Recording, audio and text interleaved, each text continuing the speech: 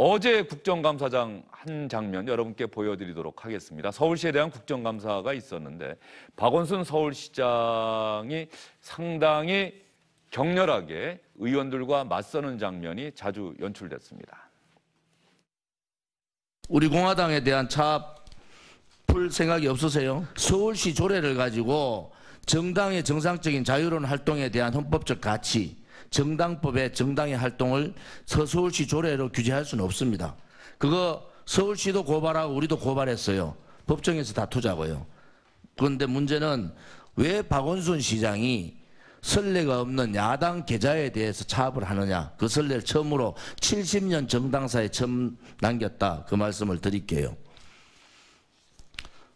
차압 푸실 의향이 있습니까?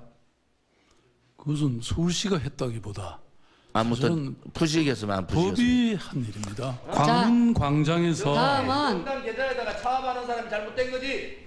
아 그렇다고 해서 자식 문제를 여- 국감장에서 이야기하는 건 아니죠. 저 제가 저 자식 문제를 국감장에 수도 없이 나왔는데 아. 왜 박원순 시장만 안 됩니까? 이 검찰이야 여기가 왜 박원순 시장만 안 돼요? 그 서울시 국감입니다. 박원순 시장 지금 장관 후보자도 아니잖아요. 장관도 아니고. 자, 네. 우리 정리합시다. 좀 전에 네. 광화문 광장의 불법 천막 행정 대집행은요. 네.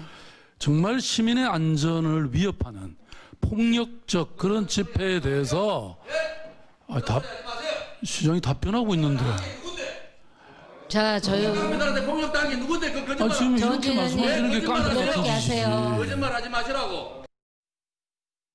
조원진 의원이 박원순 시장의 답변을 들을 생각이 별로 없는 것 같은 그런 느낌이 드는 장면이고요.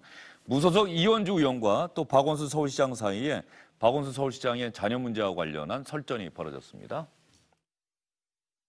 아드님 박주신 씨는 지금 어디 계십니까? 그 아들 얘기가 저는 왜 나오는지 잘 아니 모르겠네요. 그냥 아니 아니 저는 참 이해가 안 가요. 그냥 나타나서 증인으로 나오시면 될 텐데 왜 아니, 나타나지 이 않아서 지금 재판이 진행이 안 되고 서울시의 있어요. 업무 아무 상관이 없는 걸 물으십니까? 서울시하고 상관이 있죠. 서울시의 시장인 없습니다. 시장께서 이런 문제에 연루돼서 의심을 받고 있다. 이거 자체가 굉장히 심각한 문제예요. 우리 국민들 저는 정서에 이 봤을 때. 문제는 이미 오래 전에 문제가 자, 다 정리가 시장님, 됐고 아니 제가 답을 좀 정리가 드릴게요. 안 돼서 진행이 안 되잖아요. 공공기관에서 이미 시장님? 아무 문제 없다고 다 파기됐고 시장님, 시장님. 그랬는데 그걸 왜 지금 제이 시간 쓰지 마세요. 되셨어요. 박원순 서울시장의 그 아들 문제와 관련해서 야당 성향의 의원들이 상당히 강력하게 문제 제기를 하네요. 그 문제가 정리가 안 된 겁니까?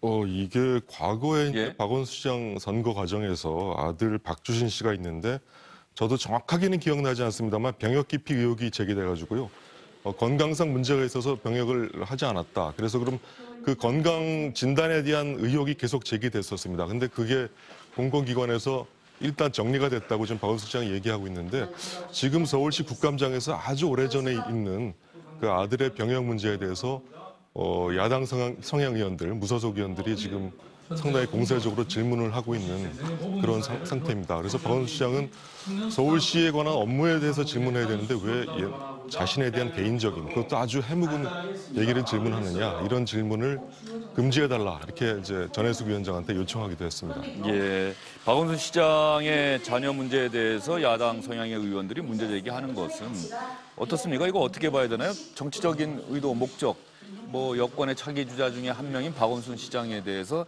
미리부터 뭐 견제한다, 뭐 이렇게 봐야 되는 그런 적이 뭐? 당연히 있다고 봐야 되겠죠. 국정감사에서 정치 현안에 대한 질문이 나오는 게 저는 불가피하다고 봐요.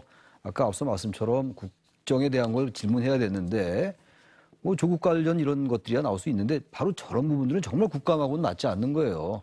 국정감사에서 어쨌든 그 관련되면서 좀 정치적 현안이 되고 이슈가 되는 걸 얘기를 해야죠. 지금 박원순 시장과 아들 얘기는 언제 때 얘기입니까? 그리고 선거 때마다 나온 얘기고 국회 때마다 나온 얘기인데 저 국감장에서 저런 얘기를 한다면 저는 전 정말 맞지 않는 것 같아요. 저야말로 저는 어, 지금 여당의 나름 뭐 대선 주자급이니까 흠집을 내려 한다. 그리고 뭔가 야당으로서 존재 가치를 보여주려 한다라는 뭐 야당도 아니죠 이원주 의원은 지금 무소속인데 그렇게 해석하지 않고는 설명할 길이 없는 것 같아요. 느닷없이 서울시 국감이 얼마나 할 게 많습니까? 서울시 예산이 엄- 엄청나게 많은데 그 시장 아들 가지고 저렇게 얘기하는 건 저는 저 뭐 내용 여부를 떠나서 저건 대단히 부적절하다. 저런 행동들이 바로, 바로 정치 부재, 정치 실종을 가져오는 거라고 생각합니다. 예.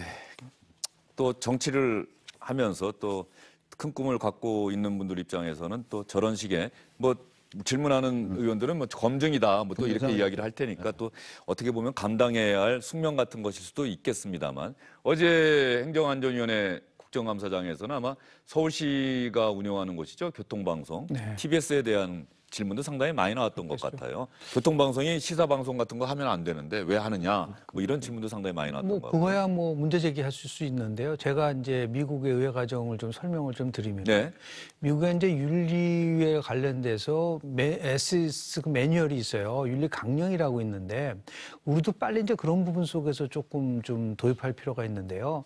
상원 같은 경우에 한 500페이지 되고요. 하원 같은 경우에 한 470조 정도 됩니다. 거기 어떤 내용이냐면 국 회의원은 다음과 같은 말을 해서는 안 된다. 어떤 말은 되고 어떤 말은 안 된다는 게 아주 상세하게 나와 있습니다.